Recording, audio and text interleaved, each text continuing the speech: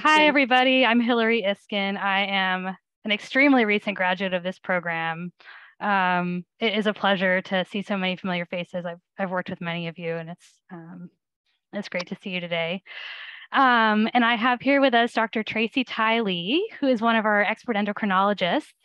Um, I'll just get, I'll briefly introduce her and then she can add anything she'd like to. Um, Dr. Tylee herself attended the UW School of Medicine and then went to UC San Diego for her internal medicine residency.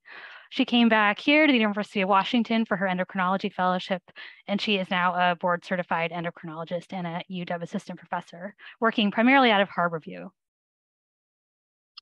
Yes, um, that is that is me. I'm also the program director for our fellowship, and I am um, very interested in thyroid disease and thyroid nodules, and you can get me to talk about that stuff ad nauseum. So um, if you ever have any thyroid questions or uh, want to get in on some biopsies, let me know. I, I'm, I'm your connection there. So great. That's good to know. Um, all right, and I'm hoping everyone can see my screen and hear me okay, send a chat or something if there's an issue. John's giving the thumbs up. Um, so I know that this is our first MKSAP session of the year, so I'll explain a little bit about what that is. Um, so MKSAP stands for the Medical Knowledge Self-Assessment Program, and it is a board prep tool that is produced by the American College of Physicians just like uh, the the step one, step two, step three board prep software that you may have used in the past. And it's meant to be preparation for the ABIM internal medicine board exam, which you'll take, most of you will take at the after you complete your third year of residency. So I graduated in June and I just took the boards in August. I'm now in the three month period where I'm waiting for my test results. Um, so the goal, let me, let's jump into our slides here. Um, just to start off, neither of us here today have any conflicts of interest. Um, and our learning goals today, the, the sort of hidden curriculum is to help you become familiar with the MKSAP board question format, explore a little bit of the idiosyncrasies of these. But the real main learning goal today is to learn some endocrinology.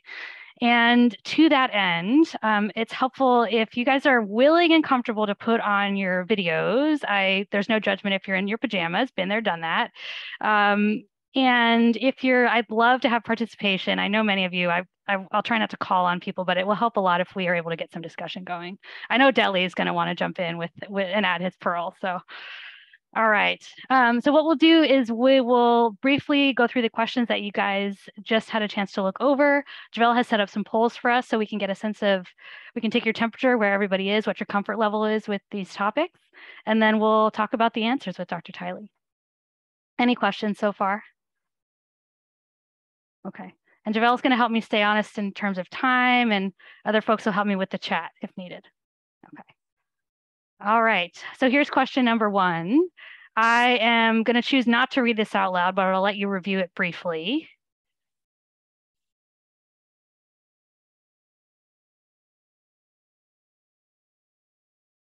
And then we're going to flip over to the answer questions here if we could get our first poll up, that would be great. And then let me know if you guys want me to hop back over to the question stem at any point. Give about 30 seconds here.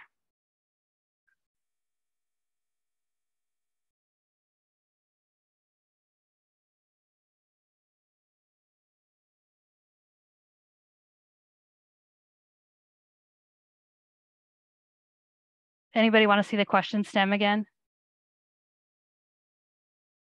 And thanks to you having your cameras on, I can see you shaking your head no, which is so helpful to me. All right. I think most of the folks seem to have answered. So I'm going to go ahead and end the poll. Sounds great. And then share results. Okay interesting. We have a nice spread. So two thirds of you would vote to stop the risperidone, and the other approximately third of you would obtain a pituitary MRI. And you guys actually did better than the majority of MKSAP respondents, only 20% of whom selected the what what MKSAP would say is the right answer. Um, those of you those of you who chose answer um, E, would you be will anyone be willing to speak to that? Remember, that was the majority of you. Totally. I'll I'll answer that. Uh up Thanks, to date. John. Yeah, you're welcome. UpToDate actually kind of mentions that um uh and I'm just kind of reviewing this now really quickly that uh looks like those antipsychotics can uh, elevate prolactin concentration pretty high. So our thought was maybe just change that medication, repeat it later, see if it goes down, given the fact that maybe since all of our other hormones were looking fine. Right. It was obviously wrong, but we tried. And I think that, and I could, I think I chose that answer myself actually when I was doing this question the first time. Um, oops, there we go. Um, and I, one, one primary care pearl from me is that I've actually had patients like this. I get patients in front of me in clinic, and the idea of stopping their antipsychotic is like, oh, no, no, no. Everything else here is going to get thrown off if I do that. Um, so then I end up looking for some other way to rule out big, bad, scary things. Um, Dr. Tylee, what are your thoughts on this question? Um, can you go back to the question stem real quick? Yeah. So, uh, oh, so it's at the top. So her prolactin level. So this is the big key here. You're rarely going to get prolactin levels over 100 due to medications. So the fact that it's 220 suggests very strongly that she has a macroprolactinoma. You don't usually get other hormone deficiencies with prolactinoma, just suppression of the gonadotropins. So you'll have amenorrhea um, is the primary presenting factor, hypogonadism in males. But um, the fact that this is that high, you have to get an MRI. Even if she's on risperidone, it could be risperidone, but you have to make sure that there's not a prolactinoma because that is going to be treated very differently. And I agree with Hillary. I will do not stop anyone's psychiatric medications without discussing with their um, providers because there's very easy ways to manage uh, prolactin um, that do not involve changing your antipsychotic medications. So um, I would definitely get an MRI first. If nothing shows up on the MRI, then it would be possible that it's medication, but usually the medication levels are less than 100. So you have to consider both a prolactinoma and medication effect. You can't just assume it it's the medication. If it were 20 or 30 or 40, it is most likely the medication. And in that case, you're not going to need to get an MRI, but you may not want to stop the medication. You may just want to put her on oral contraceptives. Nice. Very good. Yeah. So, and I put a picture here on the next slide looking to see here this now this one is a microprolactinoma this is an image i stole from bmj but this is exactly what we're looking for um, when i have patients like this in clinic i try to screen them briefly you know are they having any visual field deficits? Are they having any galactorrhea any of those sort of other symptoms? But um, once you have that prolactin level the learning point here is uh, it's key to look at the magnitude of that prolactin elevation. And I will say, usually, even if they're on risperidone, if the prolactin's around 100, I may still get an MRI to look for a non-functioning adenoma because you'd really hate to miss that. Um, so if it's a non-functioning adenoma, you can get slight elevations in prolactin, similar to levels that you would get with medication effect. So while it may not be the right answer on the board, it's always going to be the right answer in clinic to get an MRI Gotcha. All right. I, I think Dr. Tylee may have frozen. Um, but um, anybody else have any questions or comments? And, you know, Dr. John, you're welcome to jump in at any time if you also have primary care pearls. Nope, sounds good. All right. Let's move on to our next question. Um, and again, I'm, I'm not going to read this one, but I'll let you guys take a look at it and then we can get our poll going. Um, I'm going to move over to the, oops, did I do that? I'm going to move over to the answer slide. And if you guys, again, if you guys want to see the question stem again, just let me know.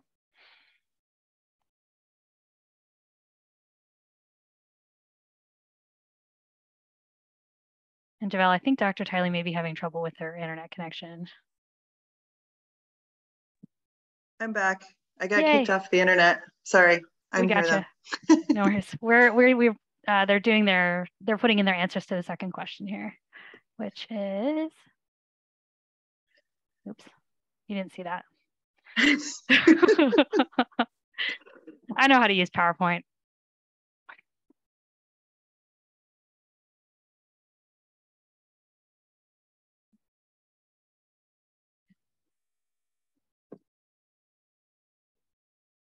Okay, I think most people have answered. If you haven't yet, get it in under the wire. I'm going to go ahead and end the poll. Sounds good. All right. Excellent. Okay. Um, so we have a bit of a split here. Primarily, folks are answering um, D, which um, ugh, I'm having a little PowerPoint trouble here. Um, Yeah, there was, D is the correct answer on the um, initial set you sent out. It's not the correct answer on the current slide, I think. okay. Because there was a there was an E before. Okay. Something got a little screwed up. Regardless, it seems like most people answered uh, D, sliding scale only. Is that what pe- people intended with answer D? Yeah. I Okay. that- Yeah, well, that may have been answered before, but that is, yeah, not the right answer Yeah. ever. Sorry, guys. um, and 44% of MKSAP respondents also put that answer choice. So you are not alone here. Um, anyone, anyone who put, um, anyone who, So- anyone who put sliding, sorry, uh, Yeah, I was just say, so C is definitely the correct answer. D is definitely, or sliding scale is not the correct. answer. I don't know what people were trying to answer, but that is, we'll go with that. Yeah. Um, would, if anyone who put the correct answer, basal and correction, if anyone's willing to speak to that a little bit.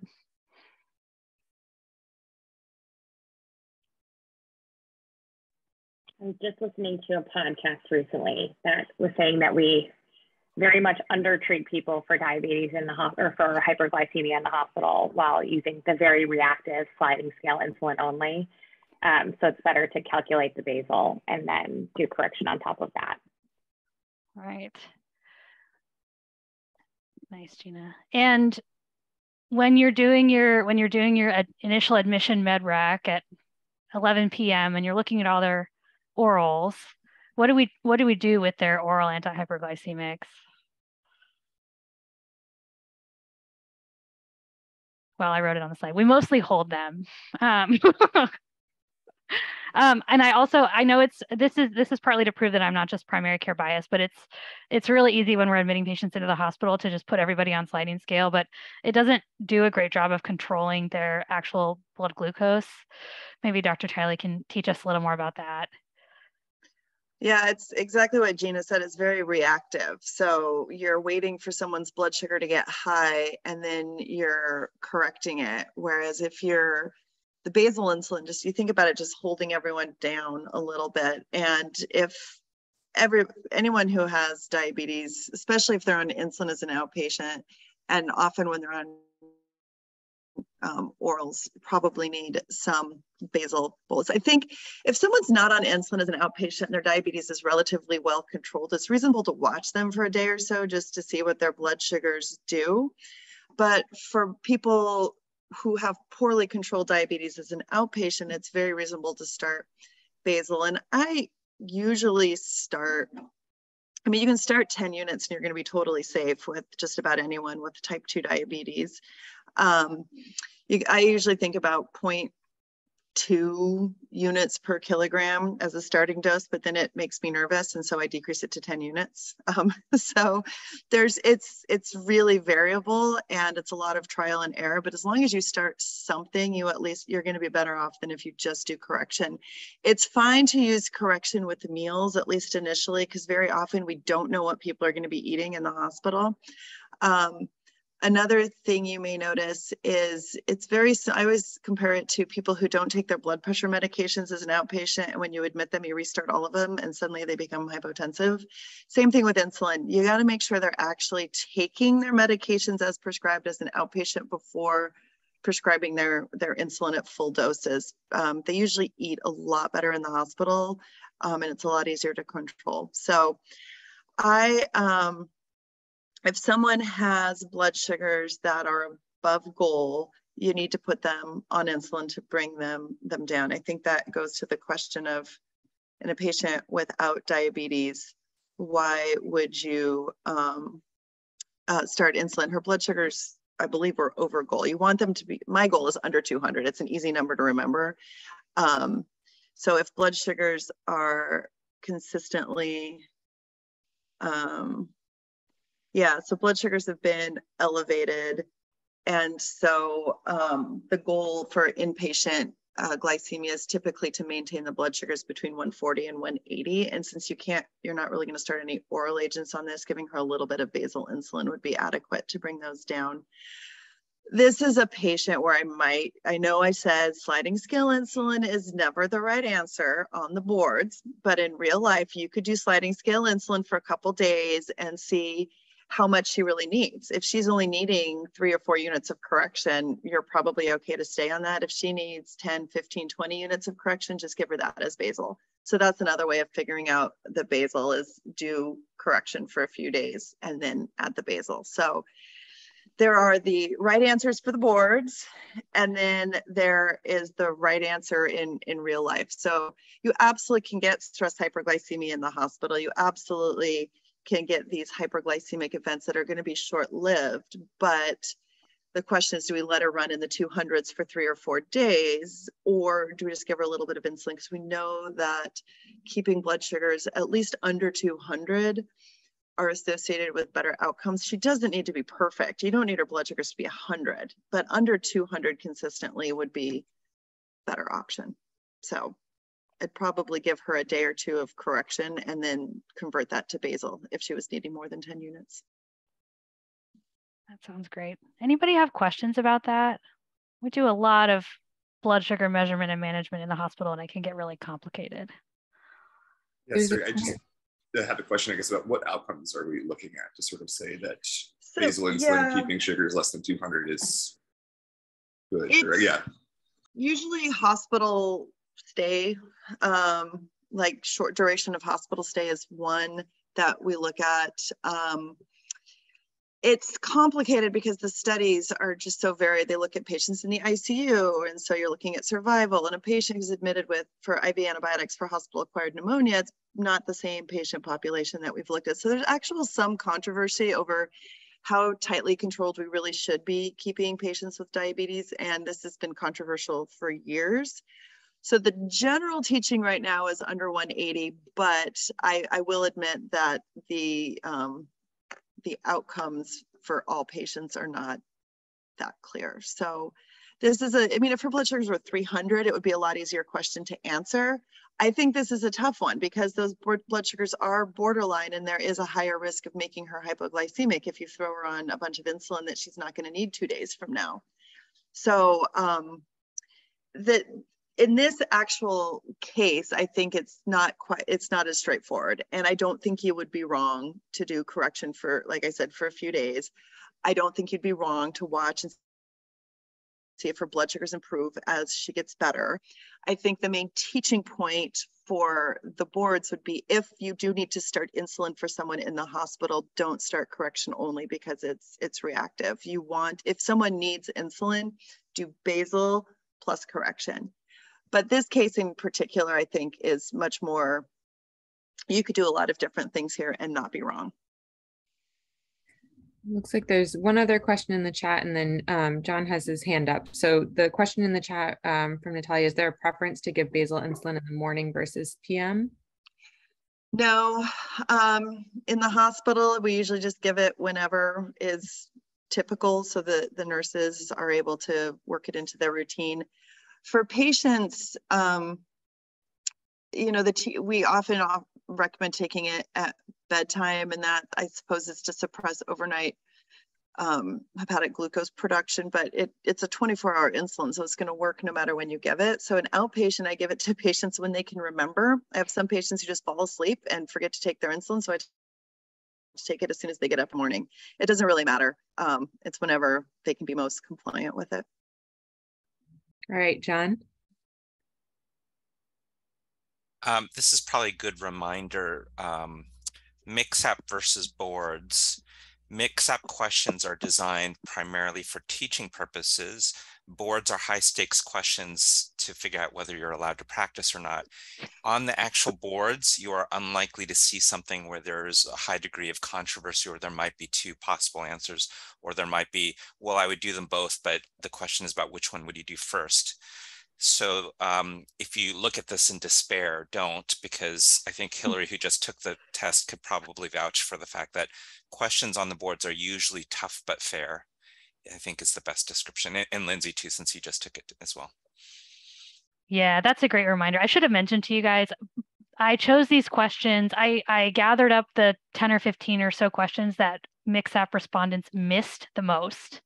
And then I selected some that for for interest in variety. So these are these are intended to be hard, and don't feel bad if you don't know the answer. That's we're just here to learn. If I if I pick e, if I pick easier questions, you all know the answers, and there's nothing to talk about. So, all right. Next question. Um, question three.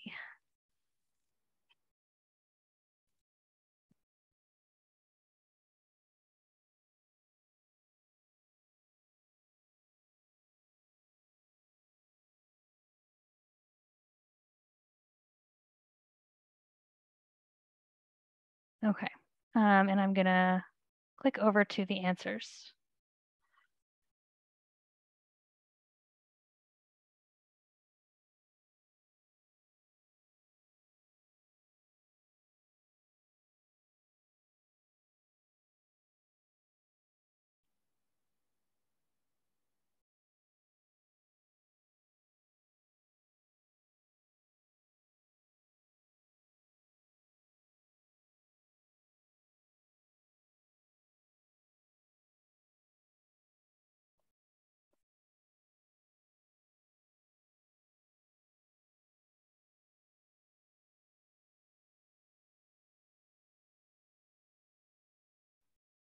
Okay, I think most folks uh, have their answer in. Um, so I'm going to go ahead and end the poll here. All right. Okay. The majority of people have chosen answer D with a little bit of a spread between the rest. And those of you who chose that are right. Um, and you beat out the MKSAP general population.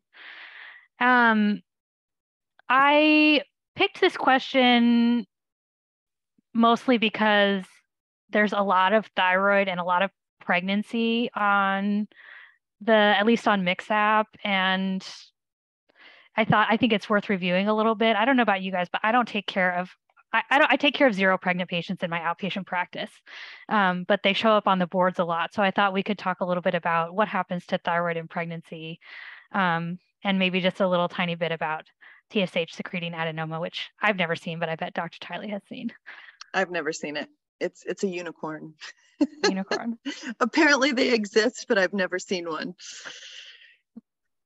Uh, MKSAP has an overrepresentation of, of yes. unicorns. well, I think that, you know, the thing with this question is, it, you know, looking at the question stem, there's a lot of, the other three answers are clearly wrong, which are probably the more important teaching points. But you're right, there is, even on the, the ESAP, the endocrine self-assessment, there's a disproportionate number of pregnancy questions. So it's good for understanding basic thyroid um, physiology. Yeah. Um, does anyone has anyone taken care of a pregnant patient with hypothyroidism or had had anything like this come up clinically? No. Dr. Tylee, maybe you would talk us through your approach about about what you would do with a patient in, in that scenario, someone who comes in, needs thyroid medication adjustment in pregnancy. Yeah, so one of the things to note with um, this patient is, you know, a pregnant, early pregnancy, there's a lot of thyroid hormone abnormalities.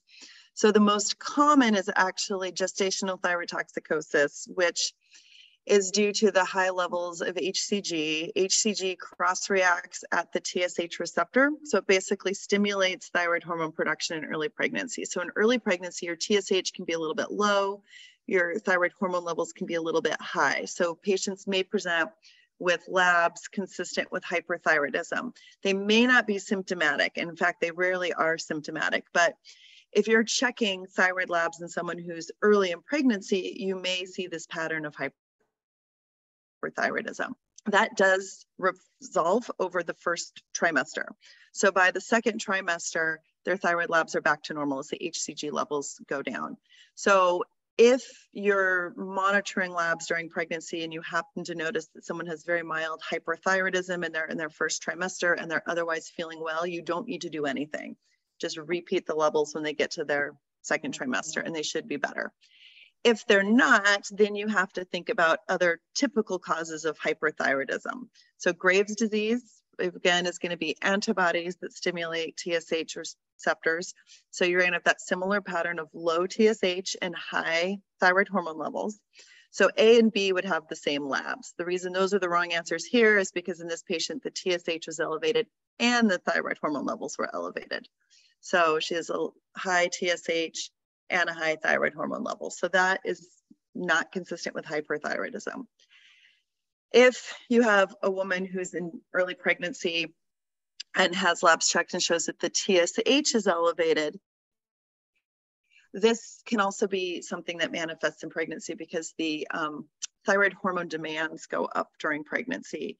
So there's higher um, levels of binding proteins. And so more of your thyroid hormone is bound to protein, which usually the thyroid will compensate and produce more thyroid hormone. But if someone has underlying like, autoimmune thyroid disease or some other mild thyroid dysfunction, that added stress may be too much and it may not be able to keep up. So you may present with um, subclinical hypothyroidism or overt hypothyroidism in pregnancy so that's something to monitor for. Um, there's other issues. There's higher um, iodine requirements during pregnancy. So if there's mild iodine deficiency, that may perpetuate or uh, precipitate hypothyroidism during pregnancy. The important thing with hypothyroidism as compared to hyperthyroidism is you do need to treat hypothyroidism as soon as you identify it. So hyperthyroidism there have been no known negative outcomes with letting someone be mildly hyperthyroid in the first trimester.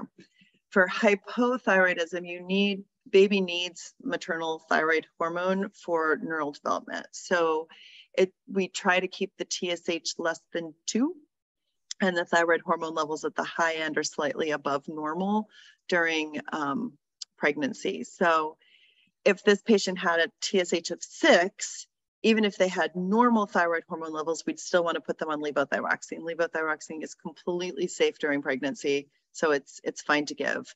Um, the one that's tricky about this is the TSH is high and the free T4 is high. So this is not clearly hyperthyroidism, which we could just monitor. It's not clearly hypothyroidism, which we'd want to treat.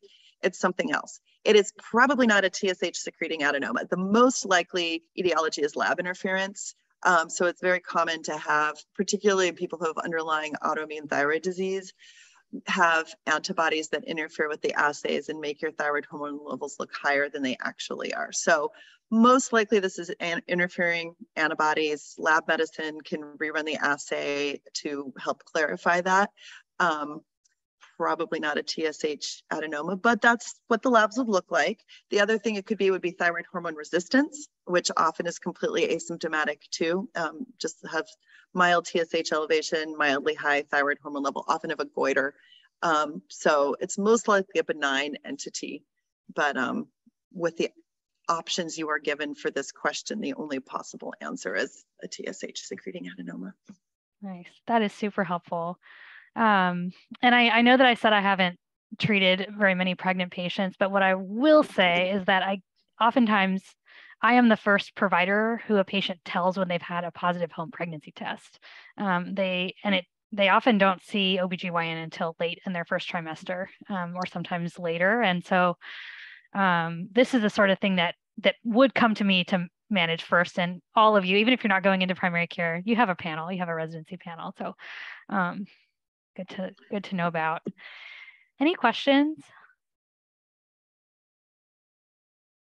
no these okay. are great cases for um, e-consults so if you have any questions about how to manage these by the time they get into clinic they'll be like halfway through the pregnancy so um, um, these are great e-consult questions we we like these. They're easy. Excellent. Mostly in the chat, um, John mentioned that so other circumstances we might be asked to address thyroid disease and pregnancy in rural primary care practice, um, or maybe, yep, sometimes uh, addressing pre-pregnancy planning for patients mm-hmm. with chronic medications or chronic disease. Yeah, right. All right, I'm going to bring us forward to question number four. You guys can briefly review here.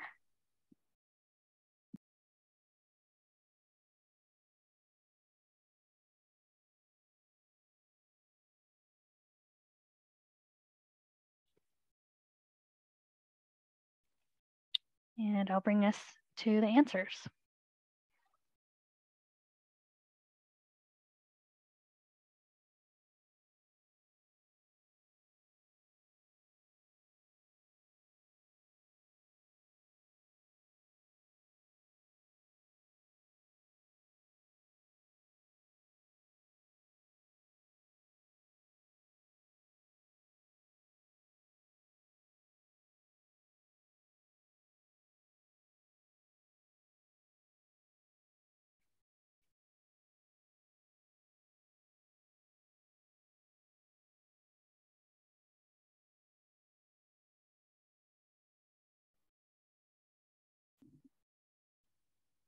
Okay, looks like most folks have answers in. Maybe give just a couple more seconds for anyone wants to get a last minute answer in. All right. I feel like I learn more if I'm forced to actually commit to sending in an answer. You guys can do it. All right, I'm going to go ahead and end the poll. Okay. All right. So interesting. So um, you guys did better than MKSAP on this one also. Um, more than half of you chose hypovitaminosis D, which is the right answer. Um, and there's a little bit of a spread here between answers A and B. Um, anybody who chose answer D, the right answer, willing to talk to us a little bit about that, why you chose that answer?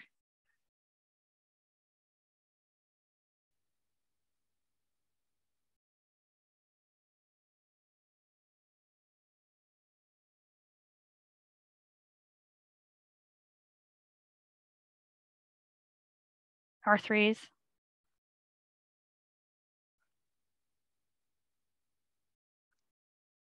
I can talk about my group. Yeah, I don't know the answer why, but uh, at the VA, we're supposed to uh, check for vitamin D before we start zoledronic acid, and so that's that's my answer. Awesome, good job, John. All right, and that and that is what is going on here. Um, that these bisphosphonates, which I actually haven't started that many of them personally in my in my panel in my practice, but they can precipitate a severe vitamin D deficiency. Have you seen that in John, or are you just you're doing your routine checking? Uh, no, uh, uh, pharmacy will not let me start it without mm-hmm. that lab level. Nice. So thank you, pharmacy. Good Swiss cheese model. yeah. You also can't refer to osteoporosis clinic at the VA without a vitamin D level. Nice. Good job, VA. Okay. For those of us who don't have pharmacists reviewing all of our meds and uh, monitor ourselves, this is a good reminder to me to always check a vitamin D before I start. Um, Dr. Tell, you want to tell us a little more about the physiology? Yeah. So if you think about calcium physiology. So you need vitamin D to absorb calcium from the gut. So you can be taking all the calcium you need through your diet, but if you have no vitamin D, your calcium absorption from the gut is going to be very, very low. So, in cases of severe vitamin D deficiency, the vast majority of the calcium in your blood is coming from your bones. You take a bisphosphonate, you shut down bone turnover. So it decreases the availability of calcium from the bones, but you can't get it from anywhere else because your vitamin D level is too low to get it from the diet. So it precipitates hypocalcemia because you have now shut down your only source of calcium when you have low vitamin D. So you want to make sure that patients have our vitamin D replete before giving um, bisphosphonates. And actually, we've seen this in the hospital in patients who are being treated with bisphosphonate for hypercalcemia.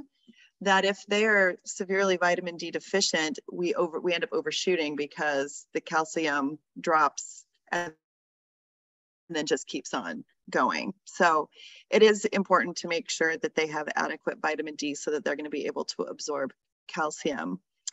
Um, can we go back to the question stem? Yeah. Can I ask you what you mean by adequate vitamin D? Uh, 20.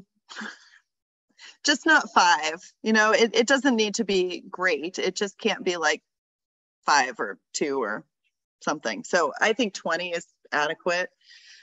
Do they need to be on a supplement, like a daily supplement also? I do. I usually have people who are on bisphosphonates taking daily calcium and vitamin D. Just they should have 12 to 1500 milligrams of calcium, and I usually have them take 1000 to 2000 vitamin D a day just to make sure. Um, so the other question was the other answer that people chose was hungry bone syndrome.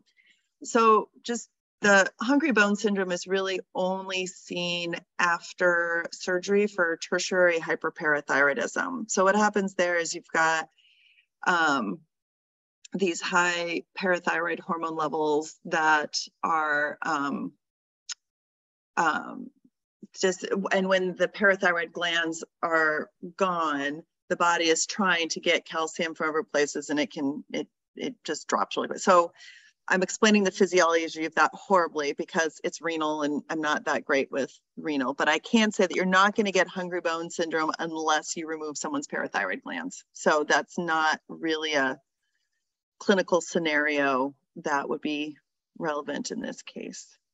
And that answer choice, hungry bone syndrome, shows up a lot as a red herring on these MKSAP questions. Yeah, so just associate hungry bone syndrome with end stage renal disease and tertiary hyperparathyroidism. So if someone has normal renal function, has normal parathyroid hormone levels, has not had parathyroid surgery, you're not going to get hungry bone syndrome.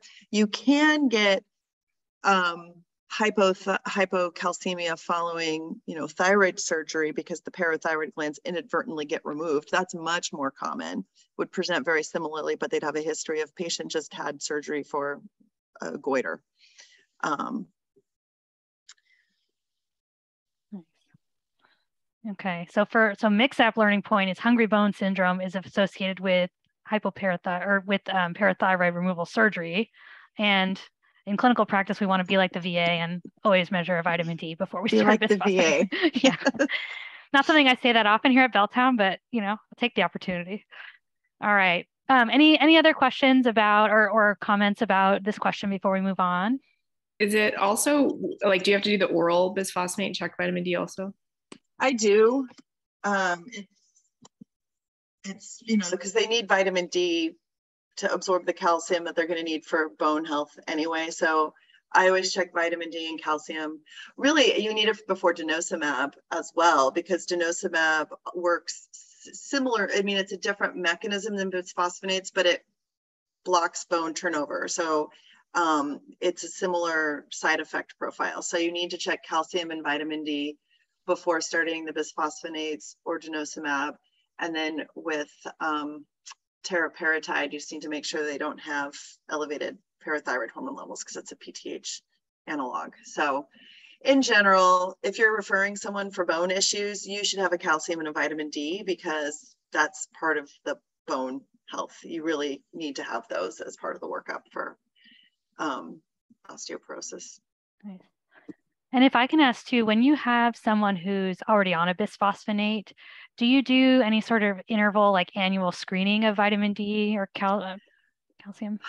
Not if they have a history of low vitamin D in the past, I might do it. What you'll run into is just a logistical challenge is for your patients on Medicare, you're going to get this stupid alert in Epic that won't let you order a vitamin D unless you have the right diagnostic thing. I can't order a DEXA scan for hyperthyroid patients because Medicare does not believe that that is an adequate reason for ordering a DEXA scan. And it very much is a reason for ordering a DEXA scan because hyperthyroidism can cause osteoporosis. Um, so you have to have, so I really only order it in people with a history of vitamin D deficiency because then it's a lot easier to justify it to, I don't know, apparently vitamin D is really expensive to measure. They're very stingy with that test. Um, but if someone has no history of vitamin D deficiency, it's very unlikely that they're going to develop it unless they suddenly develop a new malabsorptive disorder or stop leaving their house or something changes, and then I would, but routinely only if they have a history of it or are not taking a supplement. If they're taking a supplement, they should be fine. Okay. Or if they take my advice about sunscreen too seriously all of a sudden. yeah. all right. I'm going to move us forward here. Question five. We'll review it briefly.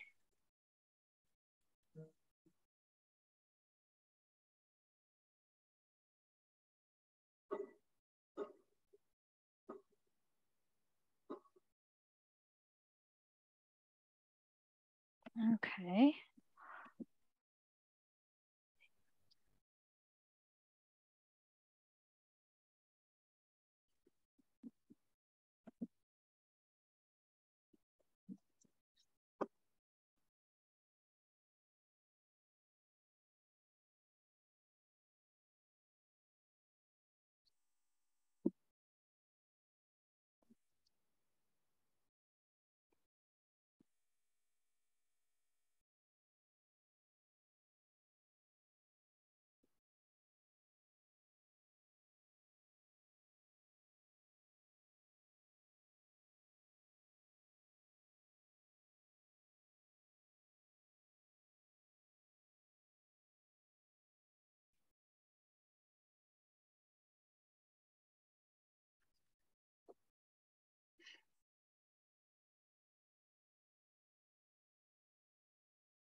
Okay, I think most folks have answered.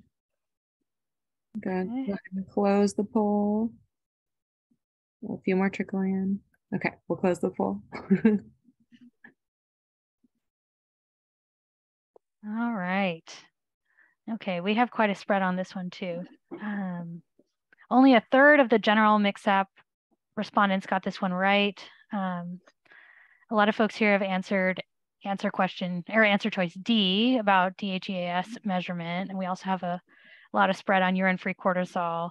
I don't know about you guys, but I end up seeing stuff like this in my inbox with some regularity that there's an adrenal incidentaloma. This also is something that could come up inpatient, get a lot of inpatient CT abdomen pelvises, and something like this has to be noted and addressed either inpatient or deferred PCP uh, for management. Um, all right. So um, when I'm looking at these, I think these are my two, maybe my first main question is, does this look benign or does this look malignant? And I've sent endocrinology e-consults for this. Maybe Dr. Charlie, you can talk us through your thought process with these. No, I mean, this is exactly the same thought process we have. I mean, the first thing is incidentalomas are incredibly common, especially on patients who are admitted for something, get scanned, and then they defer follow-up. They're not very good at following up incidentalomas in the hospital. Um, and these often get passed on to the primary care doctors. And you have to know that they're there. Unless you're looking at their inpatient imaging, you may not know that this was found. So they're very common. Um, the first question is, is this more likely to be benign and malignant? And the imaging characteristics are really what we're looking at there. Radiology is usually pretty good about putting in their um, impression whether this is consistent with a benign adenoma. So what they're looking at is size. So most benign adenomas never get bigger than three, four centimeters. Um, uh, like any tumor, if it's got nice round borders, it's it's a more likely to be a benign tumor. The thing that they really use for differentiating is something called Hounsfield units, which is non-contrast um, density essentially of the nodule. So fatty benign tumors tend to have low Hounsfield units. Malignant tumors tend to have, and pheochromocytomas fall into the malignant tumor category. Those tend to have higher Hounsfield units.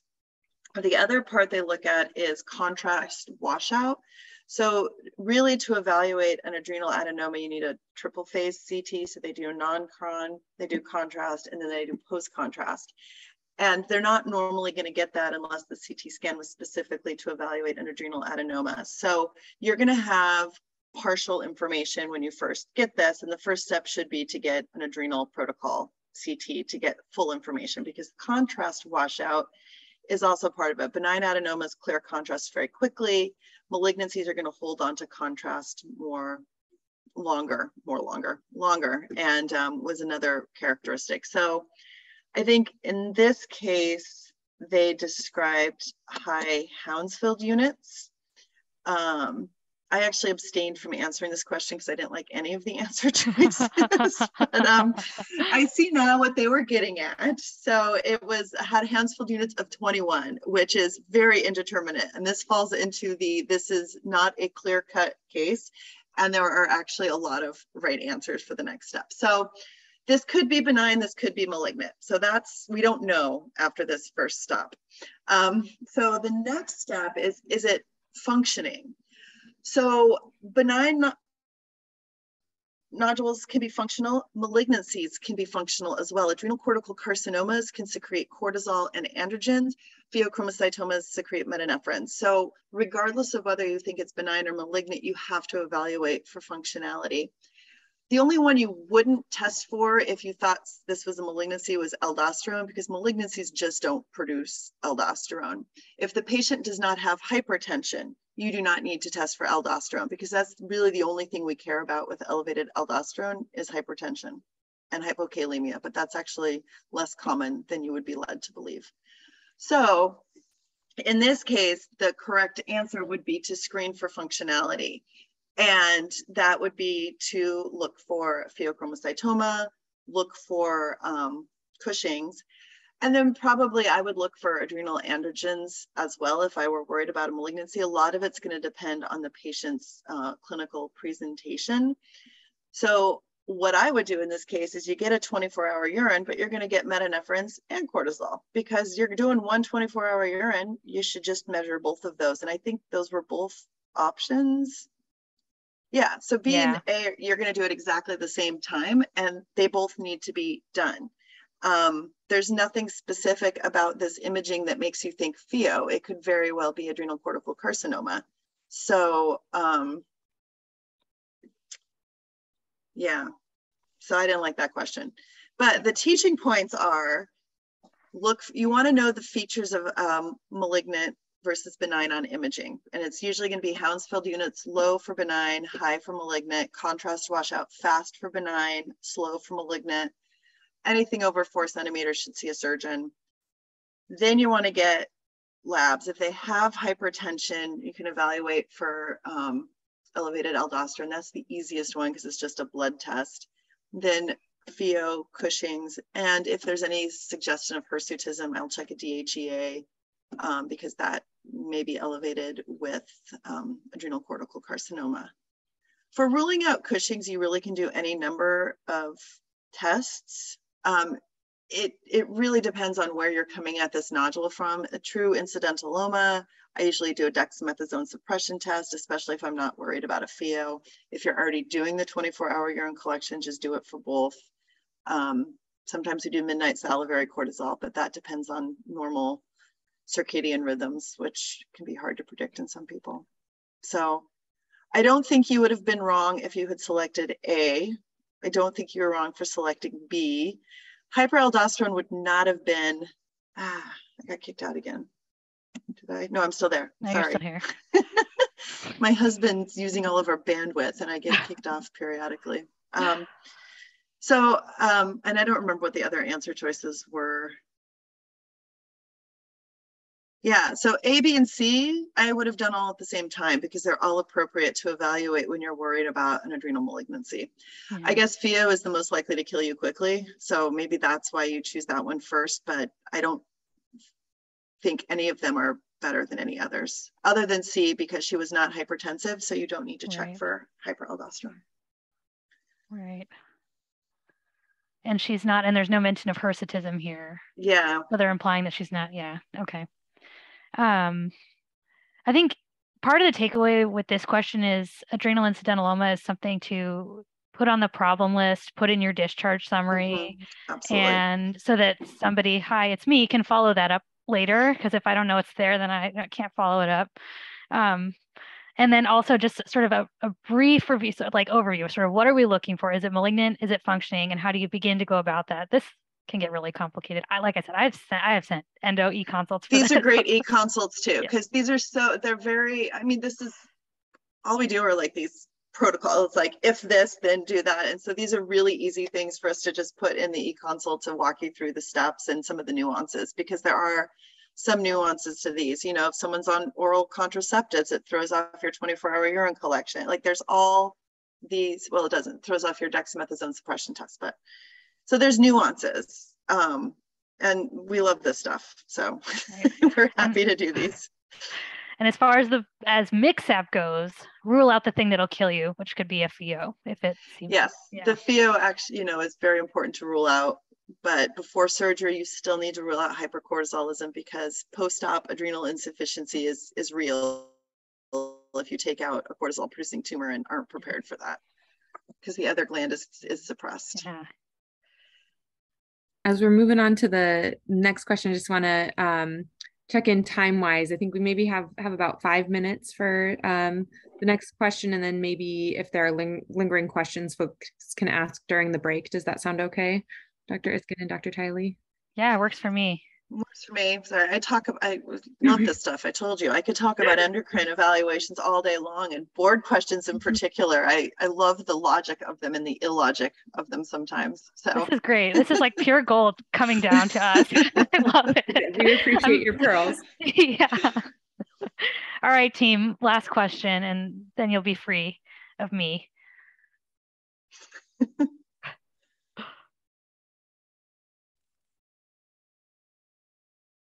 I feel like I see a lot of patients. Like I've seen a few patients in clinic like this recently. All right, I'm going to go over to the answer choices here.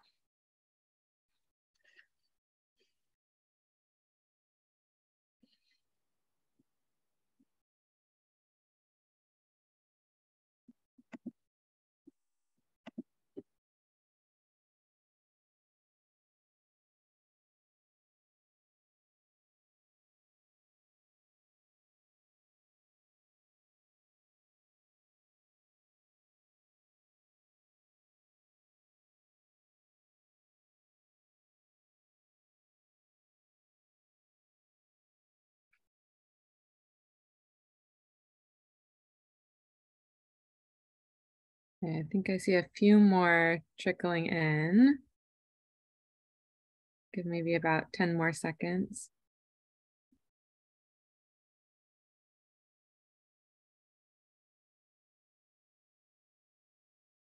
Okay, you can go ahead and share. All right. So most of you chose answer choice A, which is the cosyntropin stimulation test. Um, MKSAP would have you choose answer choice B, which is the 21 hydroxylase antibody measurement. I've never ordered that test before. I would Um, argue that the correct answer is not actually up here. So, What would you have us do? um, so what would the go back to the question? yeah. All right, so we've got um, orthostasis. He's got uh, elevated potassium, high ACTH, low morning cortisol. So, what does everyone think is going on with this guy?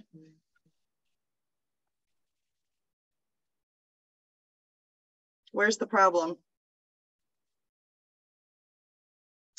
Adrenal insufficiency. Yeah. So his adrenal glands aren't working and we don't know why. So you need to look at the adrenal glands. So I would get a CT abdomen in this person. Um, I don't care what his antibodies are, you know. I mean, what they're getting at is you don't necessarily need the cosyntropin stimulation test because it's pretty clear cut adrenal insufficiency with the markedly elevated ACTH, the low morning cortisol. I would argue that that morning cortisol should be a little bit lower for me to feel comfortable not doing the ACTH stimulation test. I'd probably still do it just to make myself feel better. So I agree that that would be my answer here. Um, but he clearly has primary adrenal insufficiency and the most common cause of that in the United States is autoimmune adrenal insufficiency. So you would get the antibody testing. But I wouldn't bother with the antibody testing. I would just get the CT scan because if the CT is normal, then you're okay and you just treat for adrenal insufficiency. You don't need the antibodies as part of your evaluation. So you want to make sure that there's not something else going on like infection. So TB is the most common cause of primary adrenal insufficiency worldwide because it infiltrates the adrenal glands. Malignancy, it's a very common location for metastases. Um, there's um, other rare causes of adrenal insufficiency with some of the um, uh, fatty acid metabolism type um, disorders, metabolic congenital metabolic disorders, but those all present with big adrenal glands. They're going to look abnormal. So if you have a normal CT, you just assume they have autoimmune adrenal insufficiency and treat accordingly. Don't waste your money on the antibody testing. Nice. MKSAP doesn't want us to order any CTs. Never, but you're going to do it. Yeah, so. we're going to get it. This one is showing uh, infection-related adrenal hemorrhage here, yep. Um, which could cause adrenal insufficiency. Yeah. Um, and so your primary test when you're when you're evaluating somebody for adrenal insufficiency in clinic, you first get the fast or the morning cortisol and then usually I'll just jump to the cosyntropin stimulation test. I mean, we can do it in clinic. So if yeah. someone's referred to us for adrenal insufficiency, we just do it yeah. while they're there. Um, and rules it out. The morning one, if it's less than two, it's pretty diagnostic, but random cortisols are not terribly useful in diagnosing adrenal insufficiency. So I just do the cosyntropin stimulation test. And yeah. usually my index of suspicion is pretty low. And I'm just doing it to prove to them that their adrenal glands are working fine. Nice. Gotcha. Good. The benefit of endocrine clinic, you guys can do that there. We yes. We do not have an easy way to do that in my clinic. So I often end up ordering these morning cortisols as the initial attempt. But. So we can do the stimulation test as a nurse visit. So if you do an mm. e-consult, we can help arrange that without them having to do an in-person endocrine consult. So Good if to know. you want one, we can tell you if we agree. And if we agree, we can do a nurse visit. Good to know. All right. Like that. All right, guys. Um, I know I want you to, I want to make sure that you get your break. So I'm not going to encroach on that time too much further. I put out here um, a few of the pearls that MKSAP and I thought about, and Dr. Tylee can can give us some of her pearls too. But um, if you have an elevated prolactin, you need to rule out a prolactinoma with a pituitary MRI. In most of your hospitalized patients, you're going to want to use a basal bolus regimen so as to not rely too much on a reactive insulin strategy that the normal pattern of hypoth- hyperthyroidism is a suppressed TSH with an elevated T4, that we should be like the VA and measure vitamin D routinely before starting bisphosphonate therapy. And I actually think I'm going to make a little order panel for that so that I don't ever forget it. Um, and then when you find your adrenal incidentaloma, you need to follow the protocol. Number one, make sure it's not malignant. Number two, make sure it's not producing hormones and that a low serum cortisol with an elevated ACTH indicates primary adrenal insufficiency, which you can also evaluate with a cosyntropin stim test. Right. Those are all excellent teaching points, although they went about it a little strangely, but that's that's MKSAP. that's MKSAP, yeah. Um, thank you both so much. Um, thank you, uh, Dr. Hillary Iskin and Dr. Tracy Tylee for those pearls. Um, why don't we take a 10 minute break and come back at 1040 um, for Dr. Celia Hearing's um, talk. Uh, and maybe um, Dr. Tylee and Dr. Iskin, if folks have any questions, do you mind hanging on just for a few more minutes? And um, yep. okay. Sounds good. I have some endocrine questions that are not related that I'm like trying to hold back. Can you tell that half these questions I picked because I have my own agenda for my patients?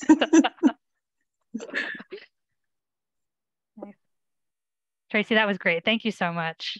That was sure. That was I'm just always happy to to talk endocrine. yeah, I love that. Hashtag asking for a friend.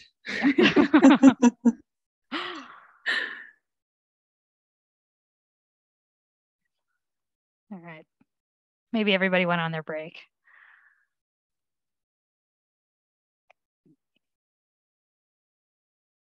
I mean, if you're okay with me asking, go ahead. um, uh, osteonecrosis of the jaw related to bisphosphonate therapy.